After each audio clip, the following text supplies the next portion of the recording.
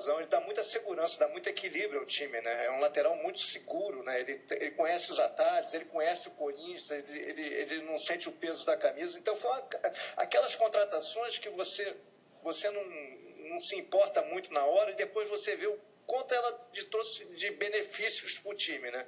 Como ela foi acertada.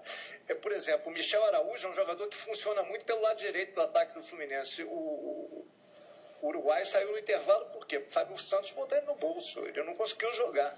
Ele não conseguiu achar o posicionamento em campo.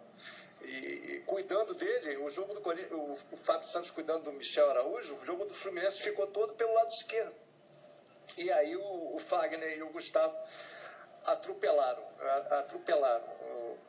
E é muito importante, é muito bom você ver o Corinthians jogar ofensivamente, né? Um jogo mais arejado, mais moderno. Né? Você se acostumou por tanto tempo vendo o Corinthians com aquele time fechadinho, defensivo, econômico na parte na, na, hora de atacar, quando você vê um Corinthians goleando, jogando com, com essa convicção, de forma tão arejada, é, é legal de ver. É, é tão raro foi tão diferente nos últimos anos, por mais que o Corinthians tenha ganhado taças nesse período com o Mano, com, com o Tite, quando você vê um jogo diferente, uma escola diferente, o Corinthians tentando buscar um, um outro conceito de jogo, eu acho